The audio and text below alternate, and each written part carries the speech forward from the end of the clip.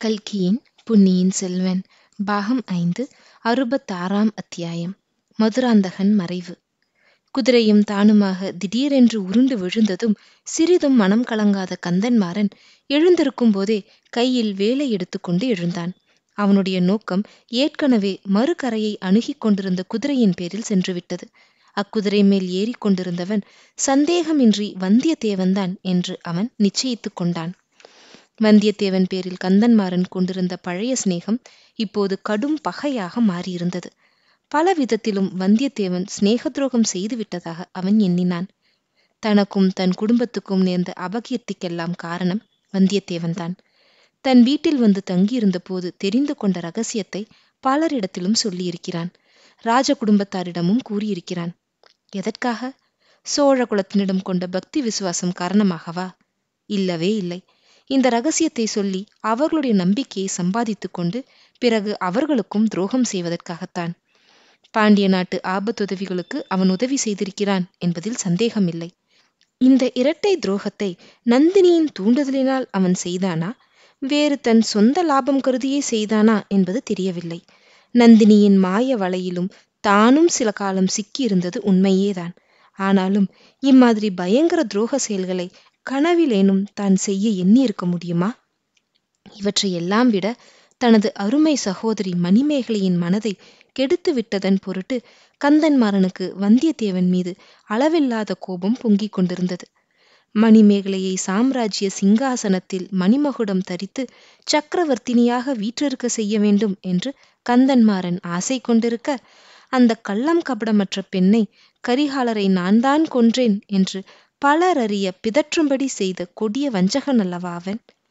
அவ்வளவு பெரிய பாதகங்களை செய்தவன் உயிர் தப்பி ஓடும்படி விட்டுவிடுவதா?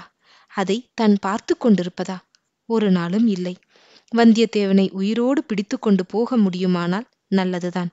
முடியாத வரையில் அவனை கொன்று தொலைத்து விட்டோம் என்ற ஆறுதலுடனாவது இங்கிருந்து திரும்பி போக வேண்டும். இந்த தீர்மானத்துடனேதான் கந்தன்மாறன் அந்த மனித வேட்டைக்கு புறப்பட்டான். இப்போது அவனுடைய குதிரை எதிர்பாராத விதமாக தடுக்கி விழுந்து விட்டது. அது இனி பிழைப்பதே துர்லபம். வைத்தியர் மகன் பினாகபாணியின் குதிரைக்கும் அதே கதிதான்.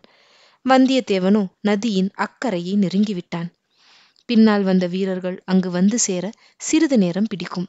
அவர்கள் வந்து விட்டாலும் வெள்ளத்தை கடந்து அக்கறை சென்று வந்தியத்தேவனை பிடிப்பது இயலாத காரியம். ஆகையால் அவனை கொன்று விடுவது ஒன்றே செய்யத்தக்கது. இவ்வளவு எண்ணங்களும் கந்தன்மாரனுடைய உள்ளத்தில் சில கண நேரத்தில் தோன்றி மறைந்தன. எனவே தரையிலிருந்து எழுந்து நின்றதும் கால்களை நன்றாக ஊன்றிக்கொண்டு கையிலிருந்த வேலை உயர்த்தி குறிபார்த்து பலம் கொண்ட மட்டும் வீசி எறிந்தான். வேல் விர் என்ற சத்தத்துடன் சென்று கண்மூடி திறக்கும் நேரத்தில் மதுராந்தகன் பேரில் பாய்ந்தது. வீல் என்று சத்தமிட்டு விட்டு மதுராந்தகன் தண்ணீரில் விழுந்தான். குதிரை மட்டும் தட்டு தடுமாறி கரை மேல் ஏற முயன்றது. மிக சொற்ப நேரத்துக்குள் நடந்துவிட்ட மேற்கூறிய நிகழ்ச்சிகளை எல்லாம் மரக்கிளையிலிருந்து பார்த்து கொண்டிருந்த கருத்திருமன் உள்ளம் பதறி உடலும் நடுங்கினான். இப்படியெல்லாம் நடக்கக்கூடும் என்று அவன் எதிர்பார்க்கவே இல்லை. வேகமாக வந்து திடீரென்று தடுக்கி விழுந்த குதிரைகளுக்கு அடியில் அகப்பட்டு கொண்டவர்கள் உயிரோடு தப்பி எழுந்தாலும் கை கால் ஒடிந்தவர்களாக எழுந்திருப்பார்கள் என்று அவன் எண்ணியிருந்தான்.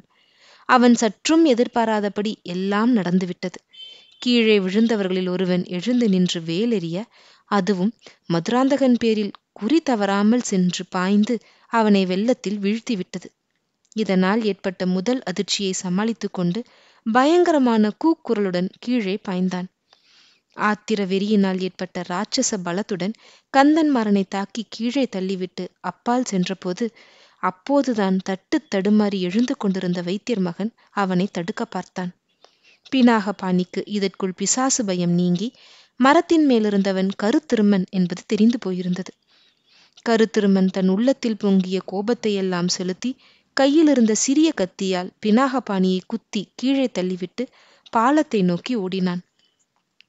மூங்கில் மர பாலத்தின் மீது ஒரு மனிதன் ஓடுவதை கந்தன்மாறனுக்கும் பினாகபாணிக்கும் பின்னால் குதிரை மீது வந்த வீரர்கள் பார்த்தார்கள்.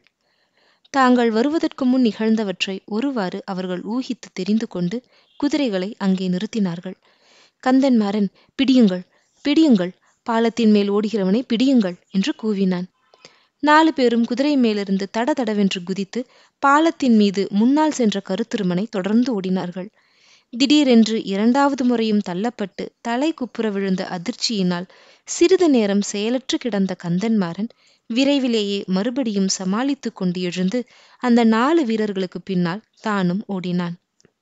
கத்தியினால் குத்தப்பட்டு படுகாயமுற்றிருந்த வைத்தியர் மகனும் ஆவேசம் கொண்டு எழுந்து அவர்களை பின்தொடர்ந்து பாலத்தின் மீது சென்றான்.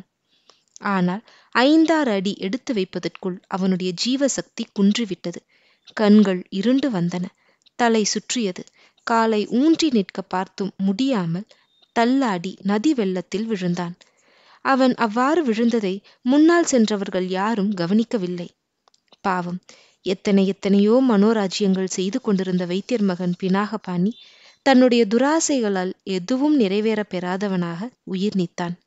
அவன் கட்டிய ஆகாச கோட்டைகள் எல்லாம் வடவாற்று வெள்ளத்தில் மூழ்கி மறைந்தன.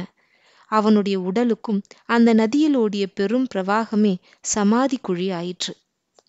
கந்தன்மாறனை தாக்கி தள்ளிவிட்டு வைத்தியர் மகனை கத்தியால் குத்திவிட்டு மூங்கில் பாலத்தின் மீது விரைந்து ஓடிய கருத்திருமன் அந்த பாலத்தில் முக்கால் பங்கு தூரம் கடந்ததும் ஒரு கணம் நின்று திரும்பி பார்த்தான். அப்போதுதான் குதிரைகள் மீது வந்த ஆட்கள் கீழே குதித்து பாலத்தின் முனையை அடைந்திருப்பதை கவனித்தான். உடனே அவன் ஒரு விந்தையான காரியம் செய்தான். அவன் நின்ற இடத்தில் மூங்கில் கழிகளை ஒன்றோடொன்று சேர்த்து கட்டியிருந்ததுடன் கீழேயும் முட்டு கொடுத்து நிறுத்தியிருந்தது. பினாக பாணியை குத்திய அதே கத்தியினால் அந்த கட்டுக்களை சட சட என்று அறுத்து விட்டான். கீழே முட்டு கொடுத்திருந்த கழிகளையும் காலினால் உதைத்து தள்ளிவிட்டு மேலே விரைந்து ஓடினான். அக்கறையை அடைந்ததும் அங்கேயும் மூங்கில் கழிகளை மரத்து வேருடன் சேர்த்து கட்டியிருந்த கயிறுகளை அறுத்தான். உடனே பாலத்தின் முனையை அப்படியே கை கொடுத்து நெம்பி தூக்கி அப்புறப்படுத்தி நதியின் வெள்ளத்தோடு விட்டான். மறுகணம் அந்த மூங்கில் கழி பாலத்தில் ஏறக்குறைய மூன்றில் ஒரு பகுதி தனியாக பீத்து கொண்டு புறப்பட்டு ஆற்று வெள்ளத்தோடு மிதந்து செல்லத் தொடங்கியது. பாலத்தின் மேலே ஓடி வந்தவர்கள் அவ்விதம் அங்கே பாலம் பீத்து கொண்டு போவதை கவனியாமலே மேலே மேலே ஓடி வந்து ஒவ்வொருவராக வெள்ளத்தில் விழுந்தார்கள். அவர்கள் எல்லோருக்கும் கடைசியாக வந்த கந்தன்மாறன் மட்டுமே அவ்வாறு ஆற்றில் விழாமல் தப்பினான். எதிர்பாராமல் வெள்ளத்தில் விழுந்தவர்கள் தண்ணீரை குடித்து திணறி திண்டாடிய பிறகு வெளியில் தலையை நீட்டினார்கள். கந்தன்மாறன் அவர்களை பார்த்து அக்கறைக்கு நீந்தி சென்று கரை ஏறும்படி சத்தம் போட்டு கட்டளையிட்டான். அவர்களில் இரண்டு பேர் அதை தெரிந்து கொண்டு அக்கறையை நோக்கி நீந்தி சென்றார்கள். மற்ற இருவர் மிக மிக பிரயாசைப்பட்டு எதிர்நீச்சல் நீந்தி வந்து எஞ்சி நின்ற பாலத்தை பிடித்துக்கொண்டு அதன் மேல் ஏறினார்கள். அவர்களை முதலில் கந்தன்மாறன் நன்றாக திட்டினான்.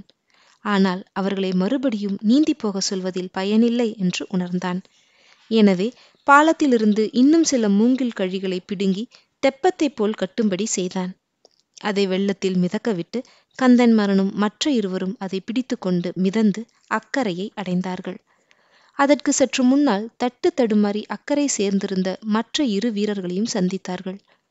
அவர்கள் தாங்கள் கரை ஏறுவதற்கு சற்று முன்பே அக்கரை சேர்ந்த மனிதன் இருளில் மறைந்து விட்டதாகவும் இரண்டு குதிரைகள் போகும் காலடி சத்தம் கேட்டதாகவும் சொன்னார்கள். குதிரைகளை தொடர்ந்து கால்நடையாக போவதில் பயனில்லை என்று தாங்கள் நின்று விட்டதாகவும் அவர்கள் கூறினார்கள். ஆனால் கந்தன் மாறனுக்கு அவ்விதம் நின்று விடுவதற்கு விருப்பமில்லை. வைத்தியர் மகன் கூறிய சிறையிலிருந்த பைத்தியக்காரன்தான் மரத்திலிருந்து குதித்து தன்னை தள்ளிவிட்டு பாலத்தின் மேல் ஓடியவனாக இருக்க வேண்டும். வந்தியத்தேவனை தப்புவிப்பதற்காகவே அவன் அவ்விதம் சாலைக்கு குறுக்கே கயிற்றை கட்டிவிட்டு மரத்தின் மேல் ஏறி காத்திருக்க வேண்டும். தன்னுடைய வேலுக்கு இரையானவன் வந்தியத்தேவன்தான் என்பதில் ஐயமில்லை. அவன் குதிரை மேலிருந்து வெள்ளத்தில் தலைக்குப்புற விழுந்ததை அவன் கண்களாலேயே பார்த்தாகிவிட்டது. ஆயினும் உயிர் பிரிந்த அவனுடைய உடலை கண்டுபிடித்து விட்டால் அவன் உள்ளம் மேலும் திருப்தியடையும். ஒருவேளை தஞ்சாவூருக்கே வந்தியத்தேவன் உடலை எடுத்துக்கொண்டு போனாலும் போகலாம். சோழ குலத்துக்கு மாபெரும் துரோகம் செய்த ஒருவனை கொன்று கொண்டு வந்த பெருமையை அடையலாம் அல்லவா அதன் மூலம் சம்புவரையர் குலத்துக்கு நேர்ந்த அபகீர்த்தியையும் ஓரளவு போக்கிக் கொள்ளலாம். வந்தியத்தேவன் தப்பி ஓடிப்போக முயன்றது ஒன்றே அவன் குற்றத்தை நிரூபிக்க போதுமான காரணமாகும். ஆதித்த கரிகாலரை கொன்றவன் வந்தியத்தேவன்தான் என்பது நிச்சயமாகிவிட்டால் அந்த பயங்கரமான பழியை சம்புவரையர் குலம் சுமக்க வேண்டியிராதல்லவா? இவ்வாறு யோசனை செய்து கொண்டு கந்தன்மாறன் வடவாற்றங்கரையோடு கீழ்நோக்கி சென்றான். வீரர் நால்வரும் அவரை பின்பற்றி சென்றார்கள். வந்தியத்தேவனுடைய உடல் எங்கேயாவது கரையில் ஒதுங்கி கிடக்கிறதா என்று பார்த்து கொண்டே சென்றார்கள். இருளடர்ந்த இரவு நேரத்தில் இந்த காரியம் அவ்வளவு சுலபமாக இல்லைதான். ஆயினும் கந்தன்மாறன் நம்பிக்கையை கைவிடாமல் மேலே மேலே போனான். இவ்வாறு வெகு தூரம் போன பிறகு பெரியதோர் அருவி மலையிலிருந்து விழுவது போன்ற ஓசை கேட்கலாயிற்று. அந்த ஓசை எழுந்த இடத்தை நெருங்கி சென்று பார்த்தபோது அங்கே நதியின் குறுக்கே ஒரு களங்கள் கட்டியிருந்தது தெரிய வந்தது. அவ்விடத்தில் தண்ணீர் தேங்கி நின்று அடுத்தாற்போல் பள்ளத்தில் அதிவேகமாக விழுந்து சுற்றி சுழன்று அலைமோதி கொண்டு சென்றது. வந்தியத்தேவனுடைய உடல் அதுவரையில் வந்திருக்குமானால் அந்த பெரும் பள்ளத்தில் விழுந்து அமிழ்ந்து போயிருக்கும். மறுபடியும் வெளியில் வருவதற்கு பல நாட்கள் ஆகும். ஒருவேளை வெளிப்படாமலே மறைந்து போனாலும் போய்விடலாம். ஆகையால் இனிமேலும் தேடிக்கொண்டு போவதில் பயனில்லை. இவ்வாறு கந்தன்மாறன் எண்ணிக்கொண்டிருந்த போதே நதிக்கலங்களை தாண்டி கொண்டு வெண்ணிற நுரைமயமாக பொழிந்து கொண்டிருந்த நீரோட்டத்தோடு ஏதோ ஒரு கரிய பொருள் விழுவது தெரிந்தது. ஆஹா அது வந்தியத்தேவனுடைய உடலாக இருக்க வேண்டும்.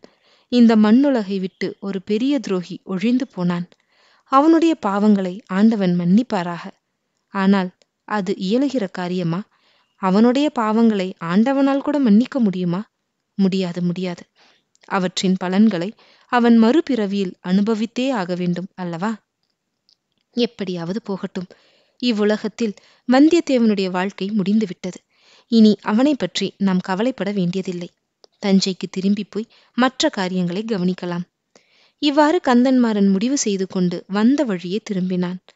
ஆஹா தஞ்சையிலேதான் அவனுக்கு எவ்வளவு பெரிய ஏமாற்றம் காத்திருந்தது.